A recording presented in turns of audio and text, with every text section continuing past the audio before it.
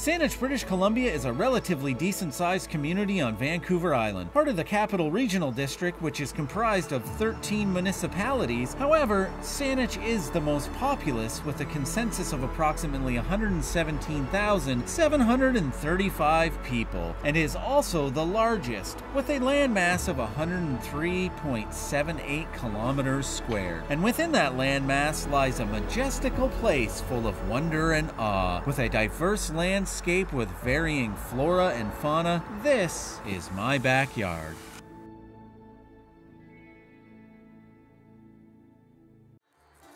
The fig tree. Although not native to my backyard, it was introduced in the 90s as a way to make my backyard look more Mediterranean. The fig tree has been cultivated for thousands of years, prized for its sweet, nutritious fruits. Native to the Mediterranean and Western Asia, the fig tree is a hardy, deciduous plant that can grow in a variety of climates, though it thrives in warm, temperate regions. It typically reaches a height of 10 to 30 feet with broad, lobed leaves and a smooth, light-colored bark. These trees can live for several decades, sometimes even over a hundred years, becoming more productive as they mature. The fruit of the fig tree is unique in that it is not technically a fruit, but a syconium, an inverted flower structure that houses the tree's tiny flowers inside. Much like the apple tree is known in helping the discovery of gravity, the fig tree is also known for a discovery itself. Isaac Newton, a 17th century English physicist and mathematician, is famously said to have discovered the concept of gravity while sitting under an apple tree watching an apple fall. Though the story of the apple tree may be more legend than fact, it symbolizes Newton's groundbreaking groundbreaking work that transformed our understanding of the natural world. Isaac wasn't alone in his discoveries, though. He also had a jealous brother who would discover something on his own.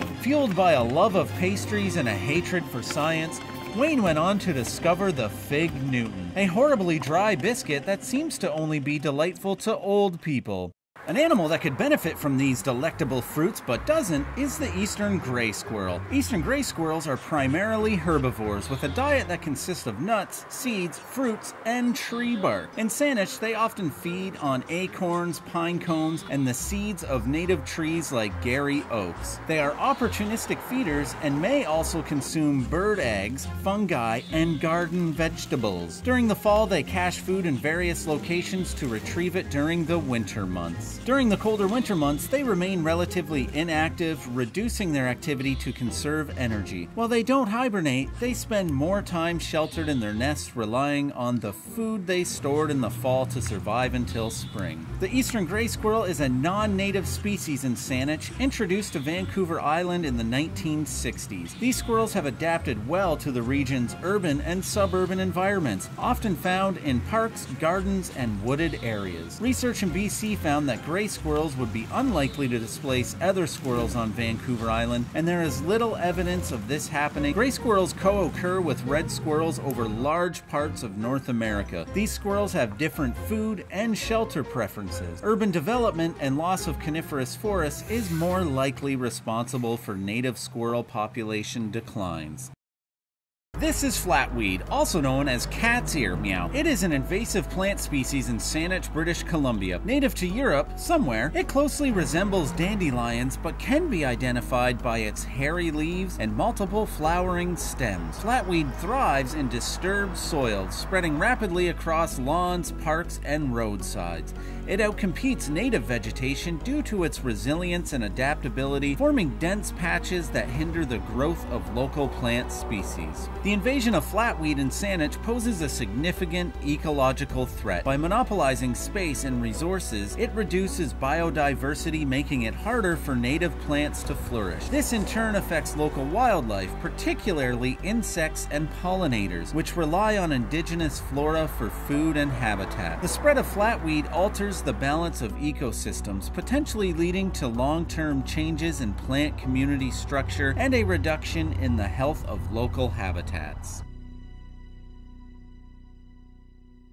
The European wall lizard is an introduced species in Saanich, believed to have been accidentally released in the 1970s from a zoo on Vancouver Island. Native to, you guessed it, southern Europe, these small agile lizards have adapted to the mild climate of the region and are commonly seen in sunny areas such as rock walls, gardens, and parks. In Saanich, European wall lizards thrive in urban and suburban areas, particularly in places with rocky outcrops, retaining walls, and warm, sheltered spots They are diurnal, often seen basking in the sun to regulate their body temperature. They are excellent climbers and use both natural and man made structures for shelter and hunting. European wall lizards primarily feed on insects, including ants, beetles, spiders, and other small invertebrates. Their presence in Saanich has raised concerns about their potential impact on native insect populations, though more research is needed to understand the full extent of their ecological effect. During the warmer months, European wall lizards are highly active, foraging and basking throughout the day. As temperatures drop in the fall, they become less active and enter a state of brumation, similar to hibernation. During the winter, seeking shelter in crevices or underground. Their rapid spread and ability to adapt to various environments have made them a notable feature of Saanich's urban ecosystems. You may be wondering at the end of all this, what didn't the Europeans bring over? Well, an appreciation for diverse and delicate ecosystems, respect for other cultures and traditions, and in general, common decency. I didn't realize there were so many introduced and invasive species in Saanich, let alone in my own backyard. Although more studies have to be done on the effects of these introduced species, I think it's an important lesson to think about the outcome of what your selfish actions will do to affect not only the ecology, but how the ecological change can affect the local indigenous people of that land. The biggest lesson I think we can take away from all this is stop being European. and at the risk of sounding xenophobic, the actual lesson is to stop thinking it's okay to introduce species to foreign lands because it reminds you of home or because you think it's cool to own an exotic animal. And sorry for getting all preachy, I just feel we need to be more aware of what our actions will do. Thank you so much for watching and tune in next time for who knows, maybe lizard people will take over.